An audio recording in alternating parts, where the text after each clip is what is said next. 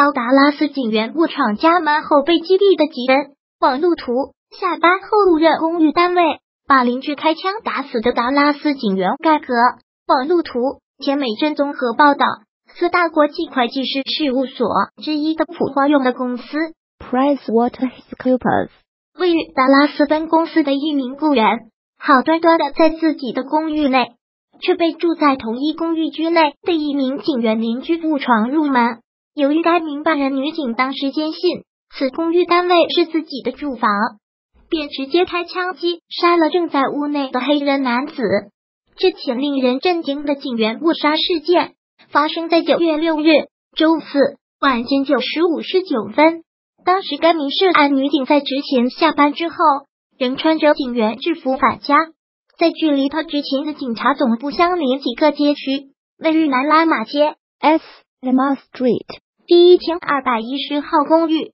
因为他坚信是自己的单位，实际上却误闯进了邻居的单位后，见到室内有一名黑人男子，在尚不确定两人互动的情况下，女警拔出配枪将男子击毙。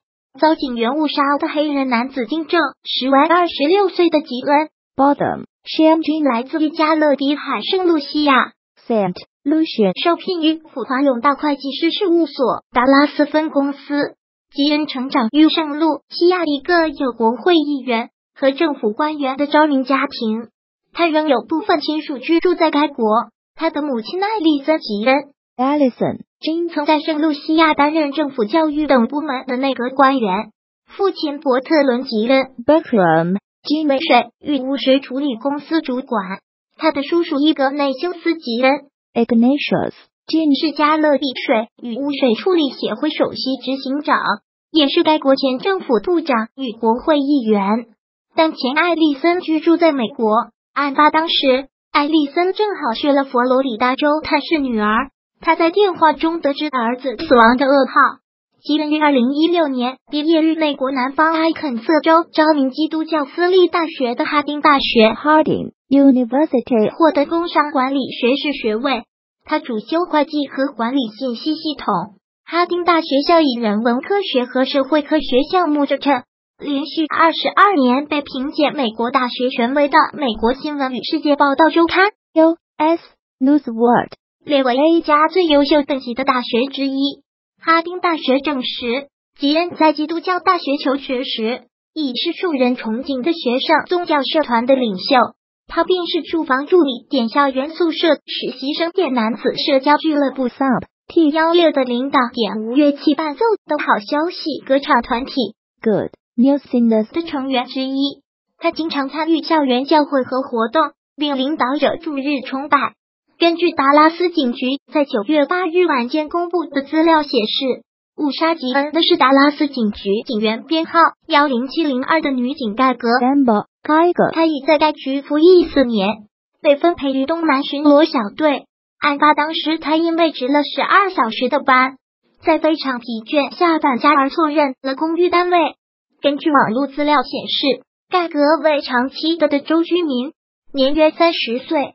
达拉斯警局长霍尔· n a 在八日指出，警方已有足够的证据，可以将此事件设定为过失杀人罪 （manslaughter）。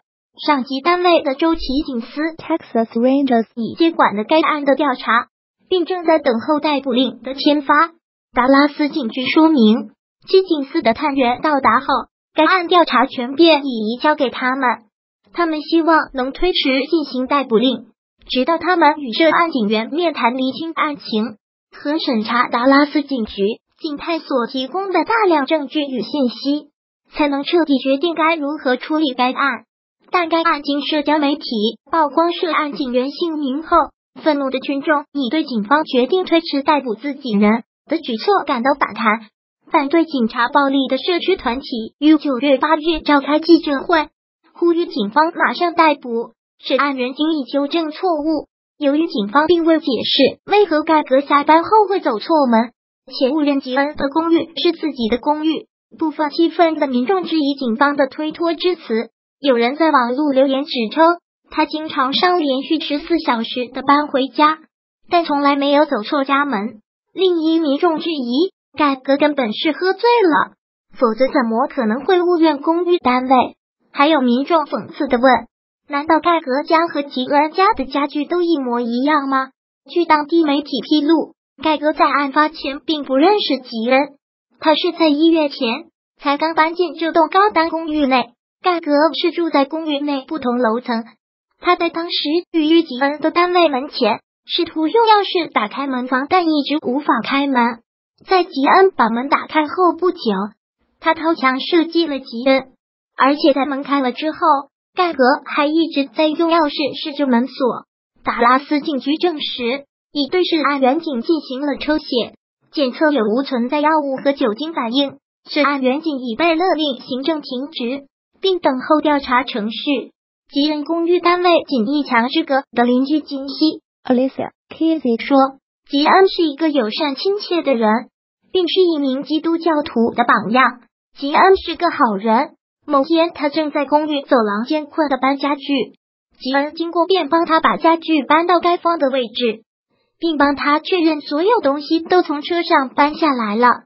他们常一起坐在门廊喝啤酒聊天。吉恩和她的男友讨论体育，他总是带着微笑。二零一七年，盖格在执勤中。曾涉及了另一起警员开枪事件，当时一男性犯罪嫌疑人被指控意图从警员手中渡枪，该名男子涉嫌持有大麻和违反驾驶。不过，该次枪击事件被盖格用枪击中腹部的男性嫌犯，最终经过后已经恢复健康。如果喜欢本视频，请分享并订阅本频道，别忘了按赞哦。